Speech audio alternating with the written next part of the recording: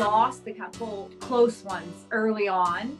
And I think that that experience and the feeling of, of losing those close ones when it comes down to one match, it really motivated them. And as we started winning and, and starting this win streak, and a, and a lot of people were wondering, are you going to catch Ball State? Are you going to, oh, too bad you couldn't have won one of those four threes that you lost. Because we lost those close matches early on, that's the reason why we won nine in a row at the end. And this team, as young as they were, it was unbelievable to me the way that they figured out how to learn from mistakes.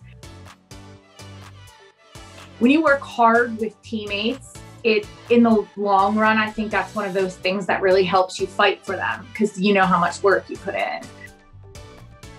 In order to like want to fight for your teammates, you have to have that bond with them. And that's where it started, you know, off the court when you're spending time with them, you get to know them. And then when you're on the court, you're like, all right, these are my best friends. Like, I'm going to fight for them because I know them. So I always like had a mindset of just like play for your teammates. Like, they're playing for you, just go out and play for them.